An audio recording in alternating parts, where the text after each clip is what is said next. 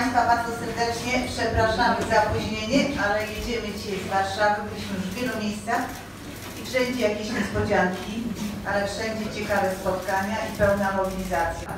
Będziemy decydować, czy będziemy żyli w kraju demokratycznym, w kraju, w którym działa system praworządności, sądowniczy, w kraju, w którym prawda jest prawdą. Walczymy o Polskę z wartościami, Polskę przyjazną, tolerancyjną. I to są bardzo, bardzo ważne wybory, dlatego apeluję, namawiam, idźcie na te wybory, przekonujcie nieprzekonanych, bo wy jesteście przekonani, czuję to. Wszystko jest w naszych rękach, żeby te wybory wygrać.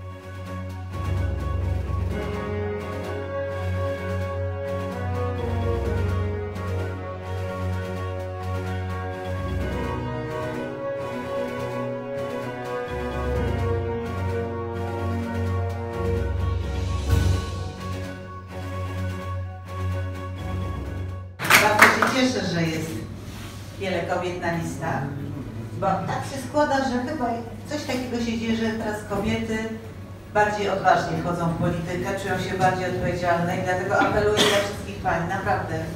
To nie są żarty, że kobiety zmienią świat i zatrzymają to złe, co się dzieje, bo musimy to zrobić dla naszych rodzin, naszych mężów, naszych dzieci, naszych wnuków. Mamy wielką determinację to nie przypadkiem teraz wszyscy apelują o udział kobiet w wyborach, bo to może być ta siła, te kilka procent, które mogą zmienić wynik tych wyborów. Nasz głos, drogie Panie, jest bardzo ważny, a wsparty głosem Panu przyniesie nam zwycięstwo w tych wyborach.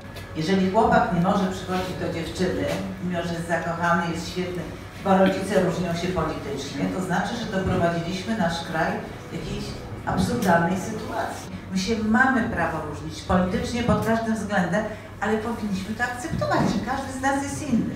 Jeżeli działamy z szacunkiem wobec każdej z tych osób, możemy funkcjonować. I wydaje mi się, że to jest nasze wielkie zadanie pokazać, że potrafimy rozmawiać, że akceptujemy to, że ludzie czasami nas krytykują sami, ale mają do tego pełne prawo. Dlatego ta kampania jest tak bardzo ważna, żeby pokazać, że w polityce, w życiu publicznym, w życiu społecznym może być inna jakość. Że doceniamy i szanujemy przeciwników politycznych. Bo naprawdę, jeżeli wygrywamy, to powinniśmy szanować naszego przeciwnika, bo przyjemnie jest wygrać z kimś, kto jest dobry, dobrze przygotowany. Koalicji Obywatelskiej na to, jak będzie wyglądała polska szkoła. Żadna opcja polityczna nie, nie jest w stanie tak zupełnie bezinteresownie pisać programów, ustalać czego się mają uczyć dzieci. Oczywiście teraz mamy skrajny tego przykład. To nie może być tak, że powierzamy dzieci nauczycielom i nie szanujemy ich pracy, nie szanujemy, skoro oni są godnie wynagradzani. Więc w naszym programie są podwyżki, cały system podnoszenia zarobków dla nauczycieli, dania im swobody prowadzenia programu, bo każde dziecko jest inne, każdy nauczyciel ma inne metody przyciągania uczniów do siebie, a programy powinni pisać specjaliści, nauczyciele, eksperci, politycy. Nie są do pisania programów dla, dla ludzi, dla szkoły, dlatego powołujemy chcemy powołać taką radę, Radę Edukacji, która będzie potrafiła stworzyć nowe podwaliny programowe, w których bardzo ważne będzie, żeby nauczyć dzieci samodzielnego myślenia, Prawda się przewija, proszę Państwa, trudno. I myślę, że dobrze by było, żeby w tej końcówce kampanii wyborczej każdy z nas, i ci kandydujący, i ci, którzy wspierają kandydatów, potrafili odpowiadać na proste pytania. Yy, PiS podaje, że tworzy państwo dobrobytu, a odpowiedź na czołówce tej gazety jest następująca. PiS obiecał 100 tysięcy mieszkań. Nie powstało nawet 3% z nich. A moje pytanie byłoby związane z tym, co przez dwa lata yy, przed sądami było naszym wołaniem, naszym żądaniem. I jak to będzie wyglądało z tym jednolitym aktem demokracji?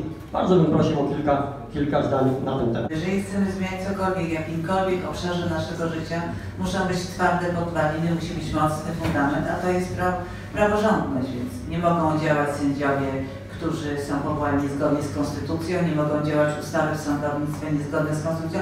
To wszystko trzeba zrobić i naprawić i to dosyć szybko, ale prawem, które jest zgodne z, z konstytucją, z prawodawstwem europejskim. Mamy takie ustawy przygotowane. Prawo musi w Polsce i konstytucja funkcjonować i wtedy można krok do, za krokiem y, działać dalej. A akcje pod sądami to jest wspaniały sukces społeczeństwa obywatelskiego i jesteście takim wyrzutem sumienia dla władzy, która dopuściła się takich czynów. powinniśmy dążyć do zwiększenia liczby lekarzy, bo generalnie brakuje 30 tysięcy lekarzy. Rzeczywiście lekarzy brakuje i ma Pani rację. Trzeba przyjmować więcej osób na uczelnie medyczne, otworzyć te uczelnie, ale musimy na razie poprawić dostęp pacjentów do lekarzy w tej sytuacji, jaka jest. Na pewno trzeba z lekarzy zdjąć biurokrację, która i zadania biurokratyczne, które mają, bo na całym świecie lekarz ma asystenta i to on wypełnia kartę, on wpisuje to do komputera, lekarz zajmuje się pacjentem. Państwo jakby zapomniało o swoich niepełnosprawnych. Państwo nie organizuje im życia, pracy, bo pewnie życie to może by sobie zorganizowali yy, sami, gdyby mieli możliwość yy, podjęcia pracy, choćby po to, żeby realizować taką rehabilitację społeczną. Rzeczywiście to jest bardzo poważny problem i dla małych dzieci potrzebna jest szybka diagnostyka i rzeczywiście szybka rehabilitacja. Nie zawsze rodzice są w stanie ją zapewnić. Muszą powstawać miejsca konsultacyjne i miejsca, gdzie ta reha- rehabilitacja musi być.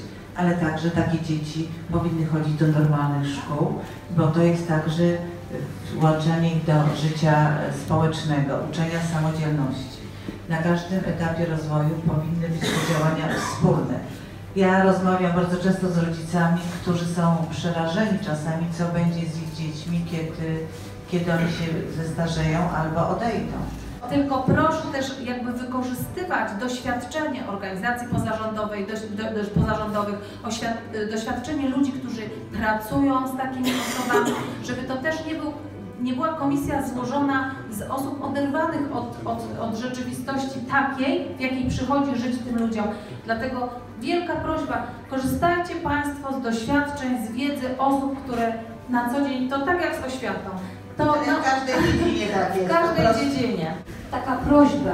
Pozostały właściwie dwa dni intensywnej pracy, a potem jeszcze sobota i niedziela, w którą można zachęcać do wyborów. Mamy nadzieję, że macie Państwo przygotowane na sobotę i na niedzielę spoty, które zachęcają do pójścia na wybory. Mam nadzieję także, że Państwo mają pomysł na te mamy. cztery My to dni, robimy na te dni, żeby to robić, bo jeżeli wszyscy będziemy zachęcać i namawiać do głosowania, przekonywać, to wtedy będziemy mieli pewność, że zrobiliśmy wszystko, co się da. Co do młodych ludzi, wcale z nimi nie jest tak źle. Rzeczywiście zaniedbaliśmy wszyscy, jako rodzice, dziadkowie, jako to wychowanie do społeczeństwa obywatelskiego, bo wydawało nam się, że wszystko jest takie proste, że Polacy zrobili tak strasznie dużo, udało nam się w pokojowy sposób odzyskać wolność, że świetnie się rozwijamy, jesteśmy czempionem w Europie, wszyscy nam zazdroszczą, ale zapomnieliśmy, że trzeba także wychowywać i tłumaczyć, że to wszystko zależy od ludzi, że głos obywatela ma wielkie znaczenie, że trzeba być aktywnym. To prawda, wszyscy tutaj zawaliliśmy, ale mam takie wrażenie, że już po postawieniu tej diagnozy trochę tej pracy wykonaliśmy i z młodymi wcale nie jest tak źle. Polacy bardzo cenią wolność i nie chcą, żeby ktoś decydował, co mają oglądać, co mają czytać, jak. Dla mnie największym skandalem ostatnich dni to jest wypowiedź na temat dzieci z in vitro, że jest eksperyment medyczny. Powiedzenie takich słów wobec dziecka, że dziecko może być eksperymentem medycznym, to jest przekroczenie wszelkich granic. Podoba pomysł pani prezydent Gdańska, jak i prezydenta Leszkowiaka i innych prezydentów, którzy przystąpili do tego, że będą konkurować między sobą o najlepszy wynik frekwencyjny. To jest świetny pomysł, więc dlatego uważam, że robimy bardzo dużo. To, co zadziało się tu w Ostrowie, o czym rozmawiałam przed przyjazdem yy, pani marszałek z kandydatką naszą na senatora Ewą Matecką, to były prawybory w szkołach. Yy, oczywiście w tych prawyborach od razu powiem, że wynik był pozytywny dla naszej kandydatki, z czego się bardzo cieszę. Jej już gratulowałam, a gratulować będziemy po fakcie. Nasza ekipa, nasz sztab złożony jest z młodych ludzi. My jeździmy po południowej Wielkopolsce jesteśmy dumni, że jest Pani naszą kandydatką na premiera, ponieważ słyszymy same pozytywne opinie. Oczywiście zarówno od seniorów, od średniej grupy wiekowej, ale także od ludzi młodych. Ludzie młodzi mówią wprost. My chcemy zmiany, chcemy prawdziwej zmiany, która pozwoli nam być wolnymi po prostu, która nie będzie nas oceniać, która będzie szanować nas, nasze, nasz światopogląd. W wypowiedziach e, Jarosława Kaczyńskiego ostatnio e, słyszymy często, że dokończymy rzezi są- sądów i Bruksela nas przedtem nie powstrzyma. Tego typu wypowiedzi praktycznie w każdej dziedzinie. Tłumacząc to na język polski, rozumiemy, że e, Kaczyński podjął już decyzję o wyprowadzeniu Polski z Unii. Nawet jeśli nie wprost, to do takiego zmarginaliz- zmarginalizowania, że Polska nie będzie się liczyła. Na przykład wyprowadzenie ze strefy Schengen. I Dlaczego to nie jest podnoszone w debacie? Ja tego w ogóle nie słyszałem, a przecież to nam autentycznie grozi. To świadczy moim zdaniem o, o tym, że bardzo boją się wyniku wyborów, dlatego tak bardzo mocno zbierają swój elektorat. Ostatni nie tylko są skierowane do twardego elektoratu. Jeżeli słyszymy, co prezes mówił wczoraj, dzisiaj, to są rzeczy przerażające. Ta jego wizja państwa jest gorsza niż na Węgrzech, a tam jest naprawdę bardzo niedobrze i bardzo niebezpiecznie.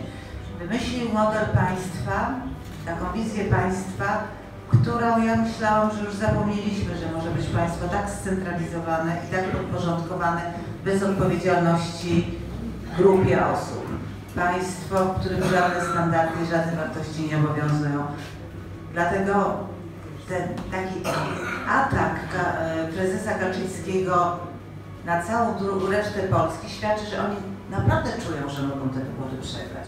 Ja jestem przekonana, że nawet wyborcy Prawa i Sprawiedliwości, kiedy słyszą o tym, czego nie będą mogli albo co zostanie zmienione, patrzą na to z niepokojem, bo pieniądze, które się dostaje, 500 plus, ludzie to przyjmują, ale nie chcą tracić swoich wolności, nawet ci, którzy na, głosują na PiS.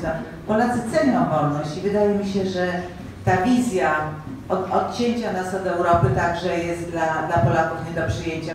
Chciałem Panią prosić, szczególnie Panią, bo myślę, że Pani dobrze rozumie ten problem, żeby w całej tej kampanii wyborczej zorganizowała Pani chociaż jedną konferencję prasową, taką poważną, przemyślaną, dobrą konferencję prasową, poświęconą tematowi szeroko pojętego respektowania praw zwierząt. Postaramy się zrobić taki mocny akcent, żeby powiedzieć o naszym stosunku do zwierząt, bo o przyrodzie, ekologii mówimy bardzo dużo, ale to może specjalnie nasz stosunek do zwierząt, jak to sobie wyobrażamy. Każdą szansę trzeba wykorzystać, to prawda. Dziękuję bardzo za te uwagi. I dziękując za odwiedziny Pani Marszałek. Wielkie brawa, Szanowni Państwo. Premier Małgorzata